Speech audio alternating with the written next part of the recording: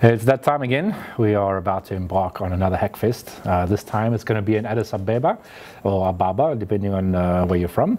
Uh, this is the third time we're running the SciGaia Hackfest. Uh, it started off as a kind of once-off event in the summer and uh, it's turned into such a great success that we've tried to reproduce it all over the place.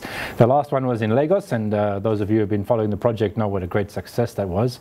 In fact, it gave us a lot of food for thought and we've put a lot of effort into documenting the process and making sure sure that the, this kind of event is reproducible by uh, more people um, and, is therefore portable to a couple of other places where we, we plan on having it again. So this time we'll be inviting people from, again, all over Africa, mostly from Ethiopia, but also from Kenya.